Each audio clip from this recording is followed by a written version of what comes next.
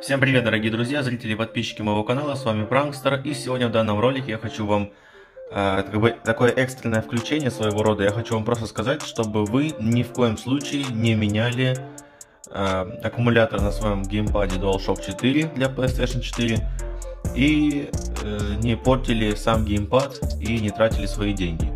Собственно, сейчас вам скажу краткую предысторию. Я решил модернизировать свой геймпад и купил на него аккумулятор. Как э, писалось на, на странице магазина ozon.ru, это 2 миллиамперный, то есть 2000 миллиамперный аккумулятор стандартный на геймпаде 1000 миллиамперный, то есть это в два раза объемнее, хватает его на два раза боль, до, до, долгое время.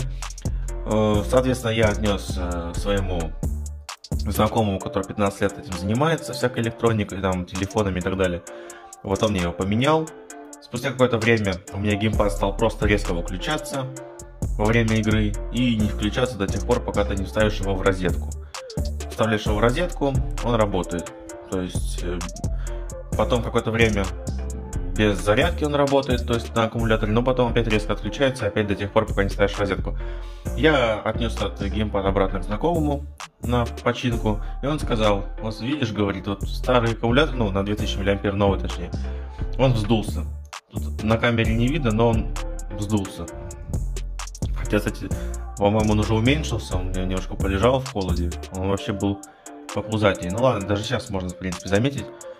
Короче, и он сказал то, что это, не, это обман, это не на 2000 мА, а на 1000, так же, как и стандартные, потому что по размерам они одинаковые. И он там проводил какие-то замеры, он говорит, да, они одинаковые. Вот это вот не обращайте внимания, это просто клей, потому что он на клей мне его клеил, пришлось отдирать.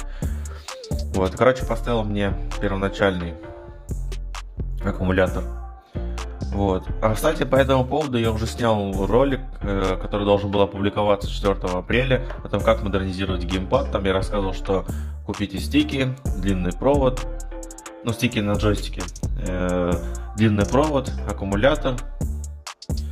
Вот. Ну, в принципе, там еще что-то было. Но смысл в том, что этот ролик сейчас удалю, потому что не покупайте данный аккумулятор. Не покупайте. Пусть у вас будет стандартный, стандартный аккумулятор. Не покупайте. Ни в коем случае. Он тоже на 1000 мА. К тому же оказался. Поэтому...